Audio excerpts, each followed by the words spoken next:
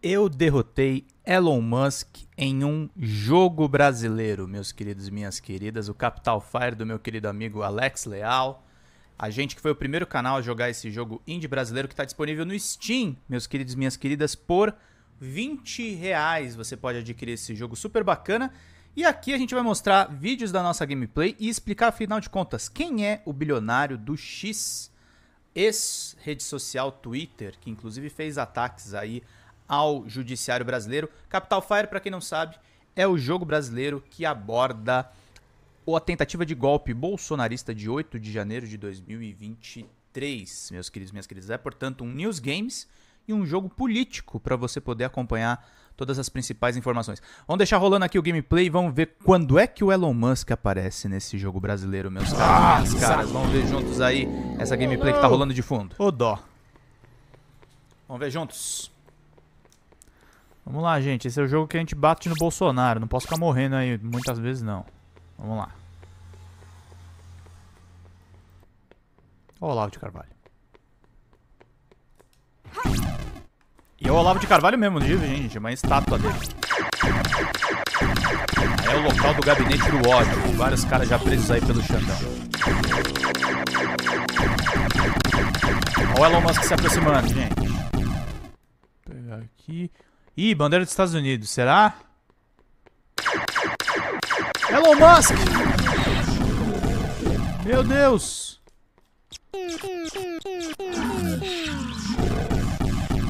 Como é que é?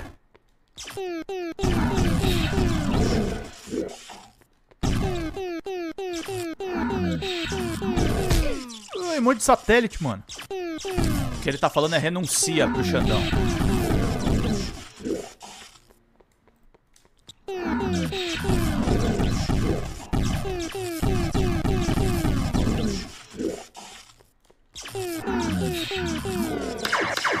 Entendi que ele manda um off fuck. Renuncia, é isso? Ah, renuncia pro Xandão.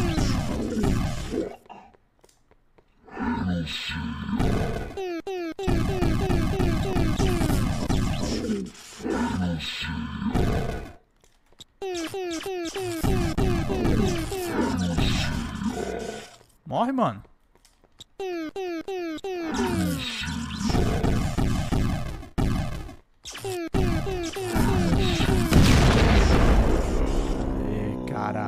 Derrotado o Elon Musk aí no jogo, Não. gente. Partículas de dinheiro, é isso aí.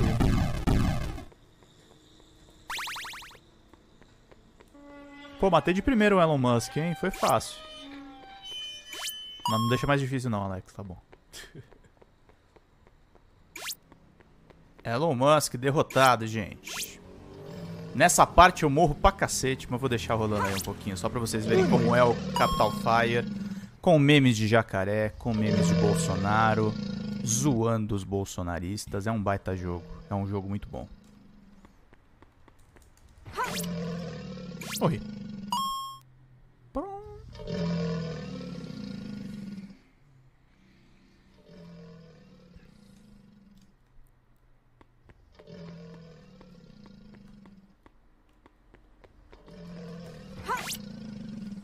Dead again.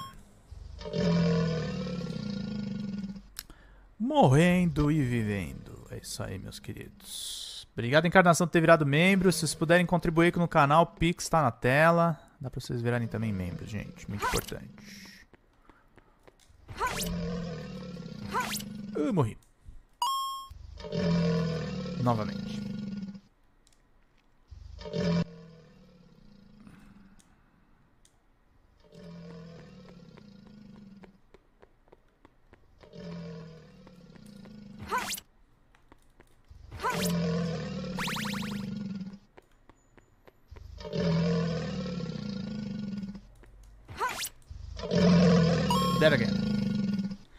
Quando postar no site, vou compartilhar dizendo: com investimento nacional e Lula Play, jogos como esse de prender bilionários serão comuns. Boa.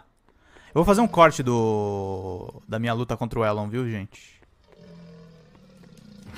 Muito legal. Parabéns, Alex, pelo jogo. Muito bacana. Pena que eu estou morrendo nessa parte. Eu acho que eu não posso correr aqui.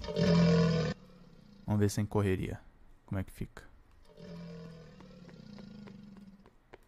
Pá, pá, pá, pá, pá, pá, pá. É isso. Não posso correr. Oi. Uhum,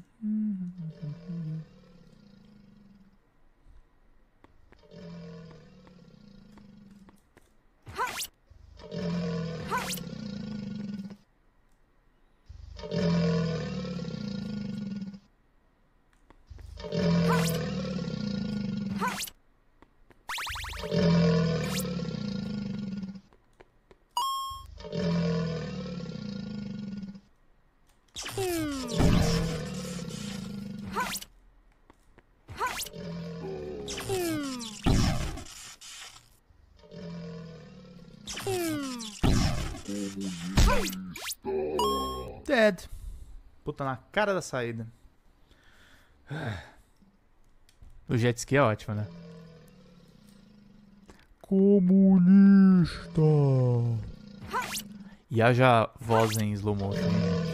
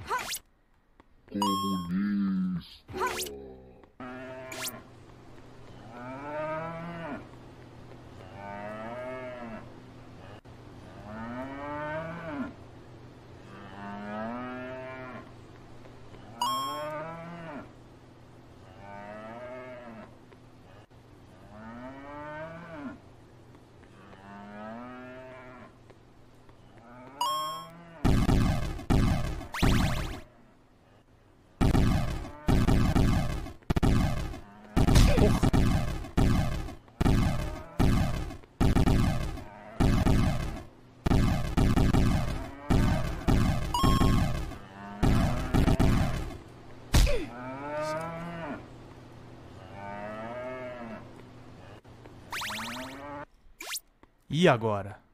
Embaixada da Hungria, hein?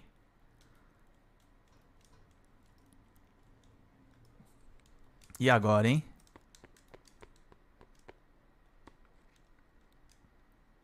Estrela, tome cuidado. Essa é a parte Eu do final do jogo, tá, gente? A gente vai abordar de novo em outro vídeo, que eu vou falar de um outro assunto, mas acho que é legal mostrar pra vocês também. algo mais nessa. Tem spoilers, hein, gente? Se vocês não querem saber sobre Capital Fire, Vamos ver, deixem o vídeo, mas mostramos aí como é que é o Elon Musk no jogo.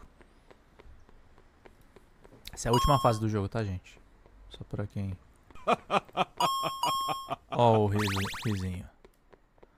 Risinho do bosta. Ó o risinho do merda. Aqui, acho que ele aparece aqui.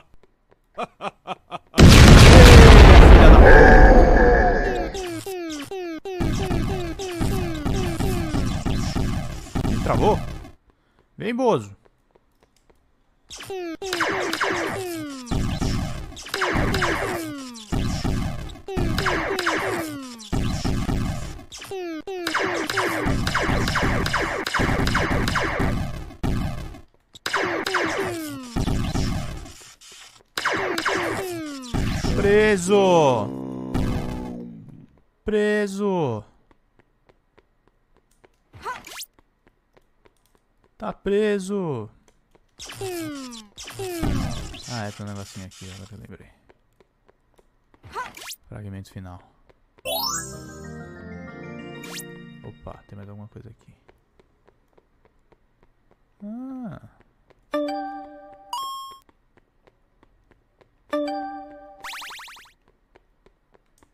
Só isso? Boa.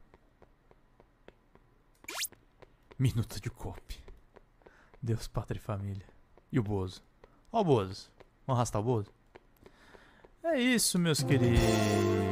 É isso. Acabou. É tetra. Esse é o final de Capital Fire, Federal gente. nesse jogo maravilhoso. Isso aí. Acabou. Venceu o Bozo. Venceu o Bozo.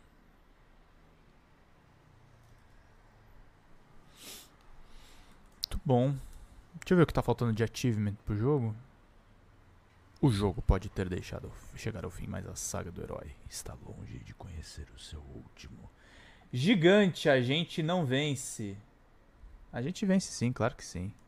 Ó, agradecer de coração ao Alex. Ó, ele, ele colocou meu nome aí nos agradecimentos. A, a gente acompanhou de perto esse desenvolvimento.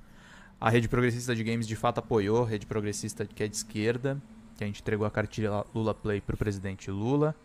Muito bacana, muito bacana. É uma honra aqui jogar o jogo da Lizard Games com vocês, meus queridos.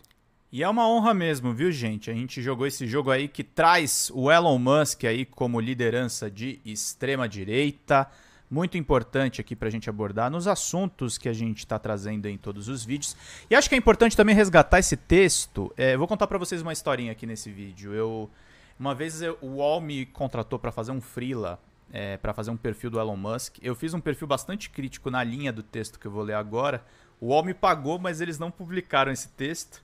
O que mostra aí que tem muita gente que, infelizmente, é, tem medo ou às vezes puxa mesmo o saco de cara que é bilionário. Mas olha só, o passado do Elon Musk é uma coisa meio complicada, gente. Eu vou trazer para vocês uma mídia de tecnologia que fala sobre isso. É, a galera lá do Tech Mundo, essa matéria ficou realmente bem interessante. O pai de Elon Musk tem uma mina de esmeraldas? Entenda essa história.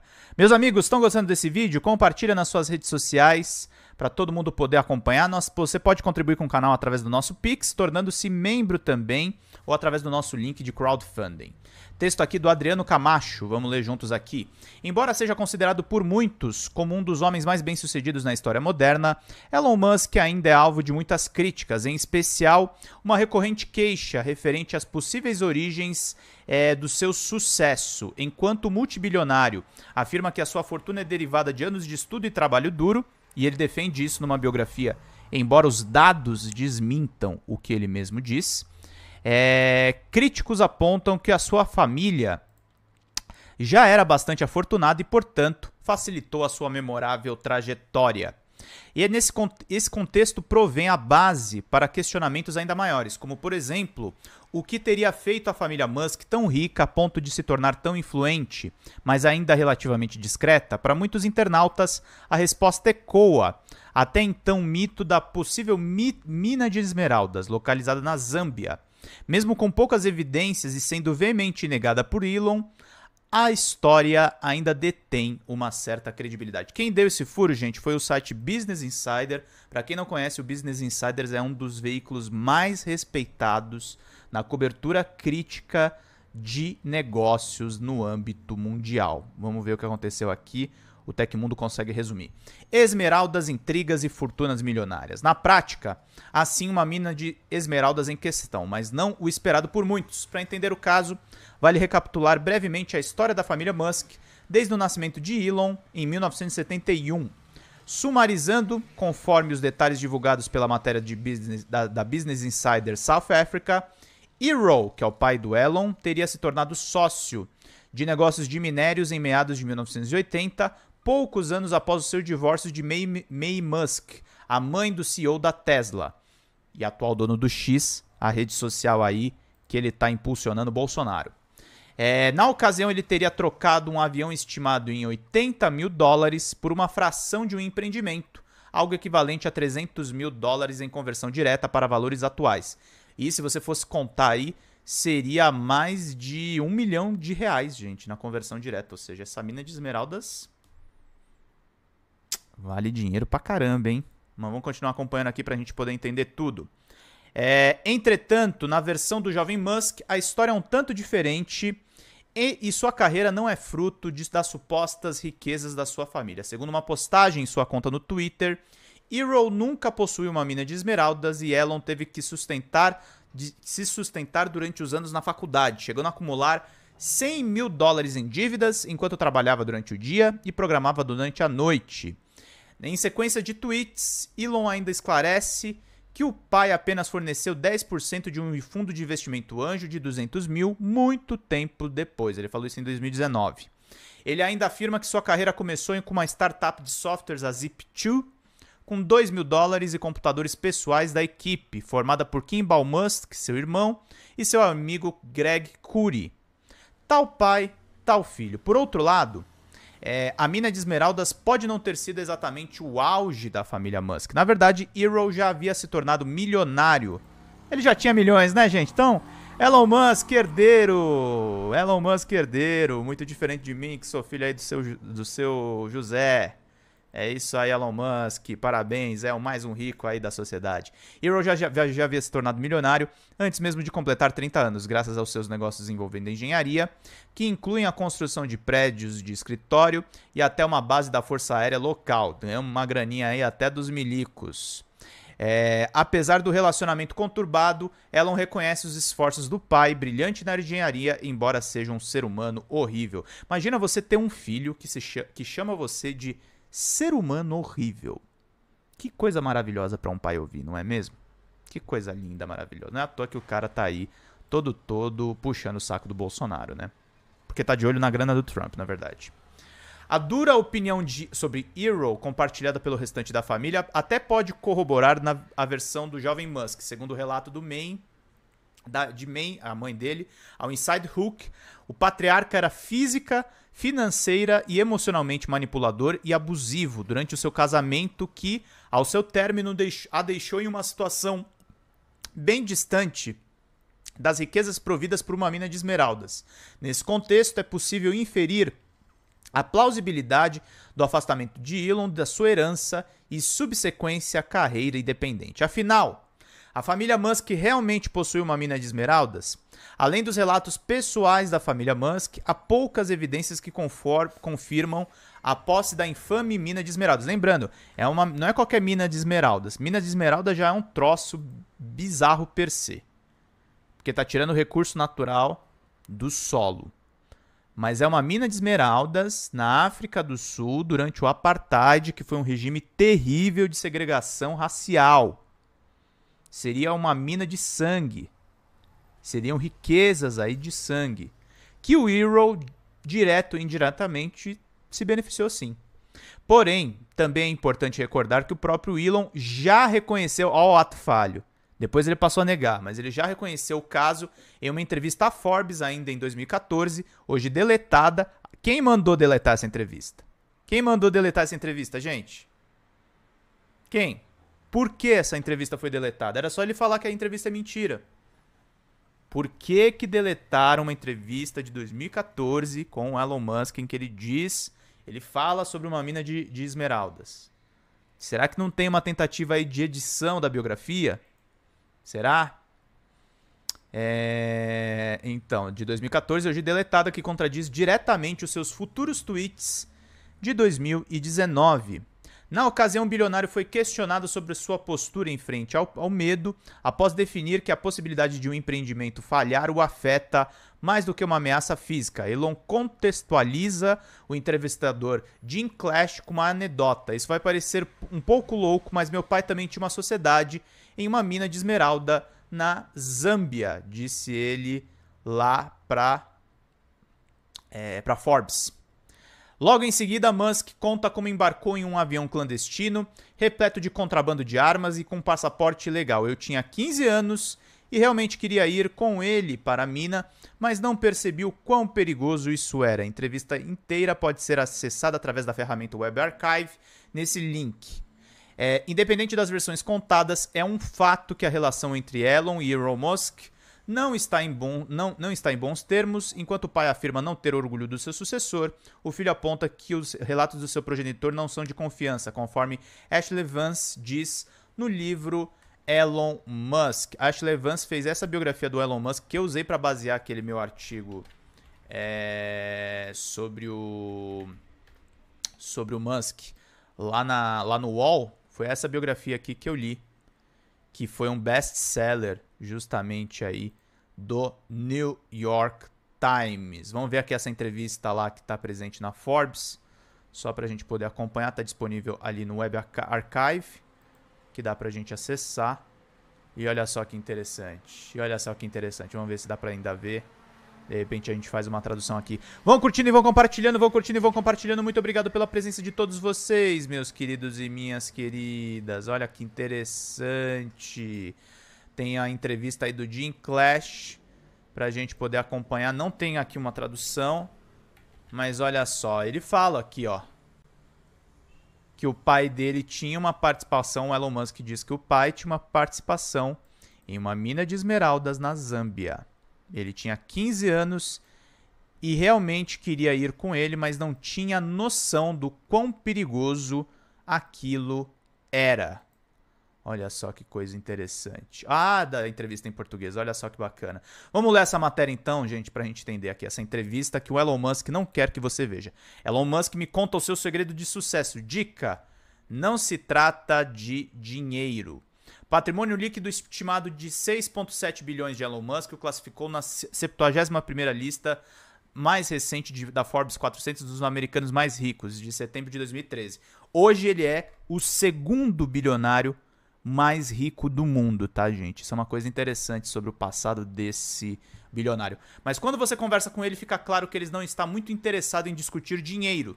Seu principal motivador é o que ele faz. As pessoas deveriam perseguir aquilo que as apaixona, diz o bilionário de apenas 43 anos. Isso as tornará mais felizes do que qualquer outra coisa. Musk acredita em grandes mudanças, carros elétricos da Tesla Motors, energia solar, a Solar City, naves espaciais reutilizáveis da SpaceX e agora o X, que ele usa para como ferramenta de comunicação da extrema direita, né, gente? A forma como os foguetes funcionam agora é que eles são dispensáveis, diz ele. Você compra e depois joga fora. Imagine os seus outros meios de transporte fossem dispensáveis: aviões, carros, bicicletas, cavalos. Um, um, 7, um 747 custa um 4 de bilhão de dólares e você precisaria de dois para uma viagem de ida e volta. Mas ninguém está pagando meio bilhão de dólares para almoçar em Nova York. Durante o bate-papo recente, discutimos muitas coisas, principalmente relacionadas ao espaço. Talvez seja uma, o mais interessante seja como Musk percebe o sucesso e o que isso significa para ele. Aí o jornalista pergunta: O seu conselho é abraçar o que lhe interessa. Você quer fazer coisas pelas quais você é apaixonado, mas que também são úteis para outras pessoas. Para admitir embaraçosamente, gosto de videogames. Olha, gamer, hein? O que, que ele acha de ser vilão agora de jogo? Foi isso que me levou a engenharia de software quando eu era criança. Eu queria ganhar dinheiro para poder comprar um computador melhor, para jogar videogames melhores. Nada como salvar o mundo, diz ele, risos. Obviamente, apenas jogar videogame não contribui realmente para ninguém, então você quer fazer coisas que contribuam para a sociedade, que você também goste. Em, todos, em quase todos os setores, você tem uma paixão por fazer um ótimo trabalho e deixar as pessoas que compram seu produto mais felizes possíveis. Isso é realmente gratificante. Você parece ter feito isso com as suas empresas. Há uma tendência de focar em uma pessoa e pensar que de alguma forma essa pessoa faz essas coisas sozinha. Mas é importante enfatizar, e não estou falando apenas da boca para fora, que a única razão pela qual eu consegui realizar coisas foram as ótimas pessoas dispostas a trabalharem comigo. Uma empresa é um grupo organizado para criar um produto ou serviço, e ela é tão boa quanto o seu pessoal e, e quão entusiasmados eles estão com a criação. Eu quero reconhecer muitas pessoas super talentosas, acontece que eu sou o rosto dessas empresas. Tanto a Tesla quanto a SpaceX são grandes ideias contra, é, quase que contrárias. O que leva a esse caminho e por que você tem tanto sucesso? Bem, estive perto de não ter sucesso em 2008 com a SpaceX. No caso, eu sou vidente, mas eu sou um vidente porque tenho que ser. O que realmente venho, me vejo fazendo é engenharia. As empresas são uma forma de amplificar a excelente engenharia trabalhando com pessoas inteligentes. Problemas tecnológicos importantes são resolvidos dessa forma. Se olharmos para as empresas espaciais, elas falharam porque tinham uma solução técnica onde o sucesso não era o resultado possível, porque não conseguiram atrair uma massa crítica de talentos ou porque simplesmente ficaram sem dinheiro. A linha de chegada geralmente está muito mais longe do que você imagina. Como você lida com o medo? perguntou o jornalista da Forbes. Elon Musk, a morte da empresa, o fracasso da empresa causa-me muito mais estresse do que o perigo físico. Eu já estive em perigo físico antes. O engraçado é que na verdade não estive tão nervoso naquela ocasião. Aí ele fala a história que ele nega hoje em dia.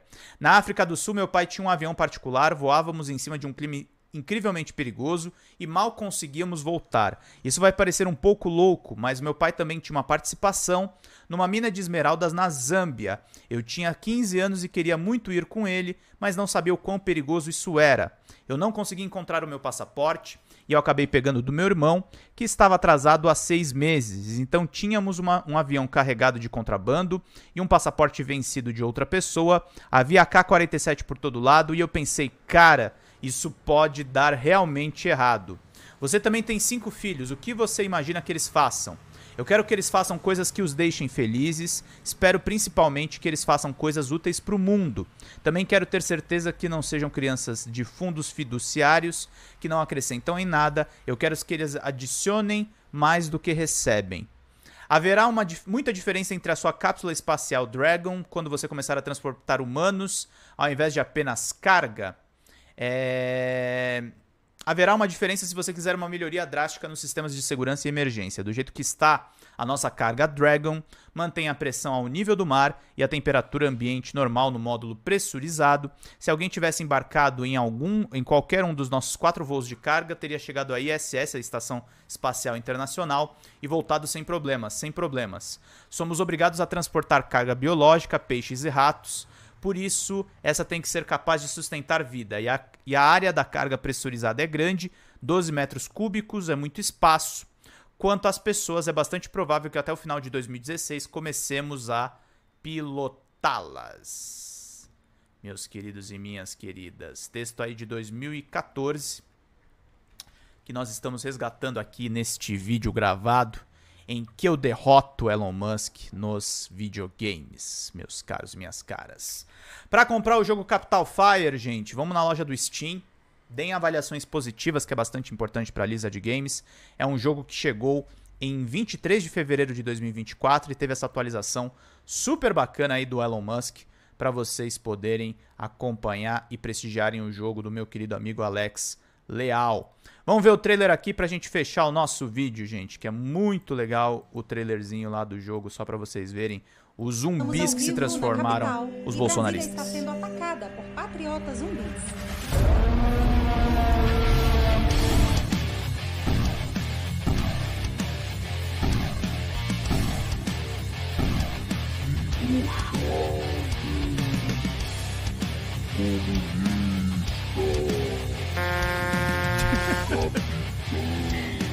A Zambelli.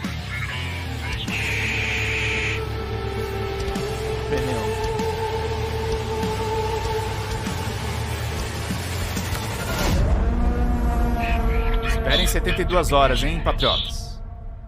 Apenas mais 72 horas. 20 reais, gente, lá no Steam. Pra vocês acompanharem. Pra vocês consumirem. Acho que é um jogo muito importante, muito relevante aí para o pessoal poder acompanhar. Tem as imagens aqui que são super bacanas para as pessoas verem aí como é que é o Capital Fire, crocodilos, discurso anti-vacina, tudo que você tem que combater em nome da democracia com a protagonista estrela ali para que o presidente Luiz Inácio Lula da Silva vença as eleições, meus caros e minhas caras.